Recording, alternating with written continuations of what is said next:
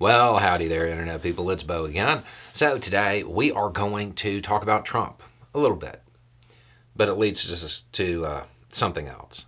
It leads us to talking about license, fines, stuff like that. If you missed the news, the former president did not have a good day uh, yesterday. According to the people who were in the courtroom, he, uh, at one point, slammed his hands on the table, got up and huffed and stormed out of the courtroom during proceedings uh, like a toddler throwing a tantrum. There was an audible gasp as it occurred. And I mean, yeah, that fits.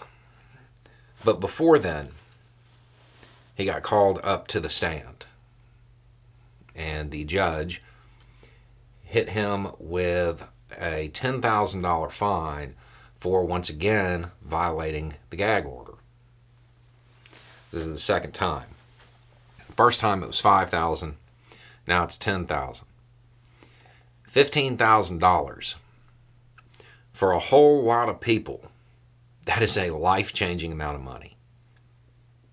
That, that's, a, that's a big deal for a whole lot of people. And it, it kind of brings us back to a hard reality. If the only penalty for an action is a monetary fine, well, that means it's not illegal for rich people. It's not a fine, it's a license to do it. They're just paying installments on the license.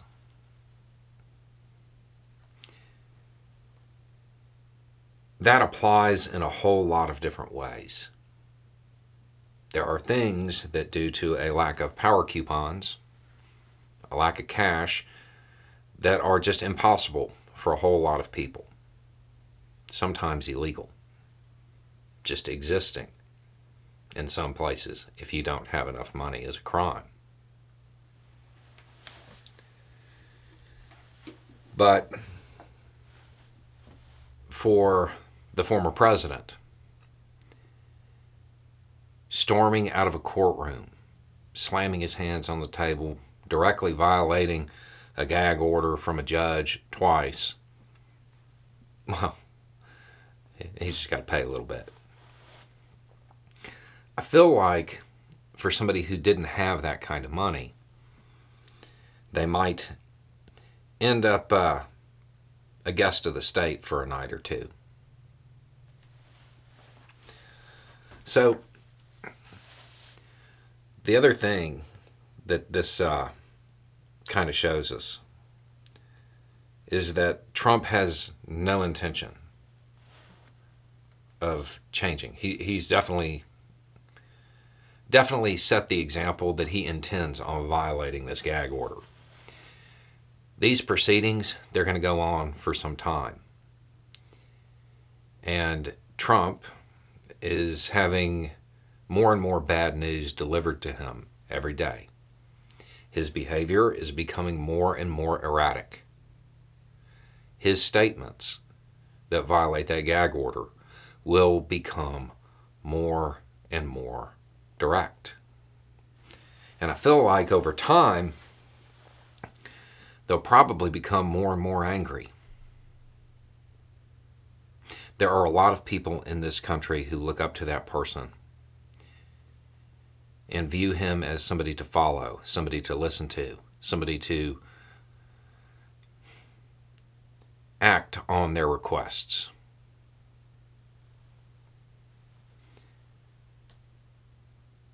At some point, the judge in this case is going to have to uh, determine whether or not a monetary fine alone is enough to alter his behavior.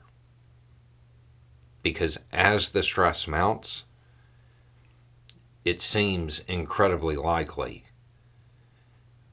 that his rhetoric becomes more and more, well, let's just say problematic. We've seen it before. The last time he faced a whole bunch of stress, situation that he couldn't alter the outcome of. It didn't end well. Something that the judge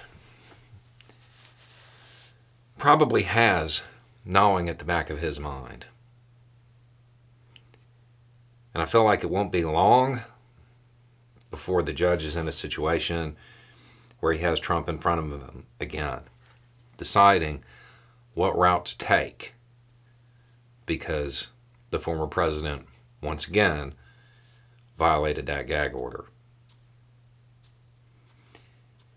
I feel like monetary penalties will only be something that is uh, on the table for so long. Anyway, it's just a thought. Y'all have a good day.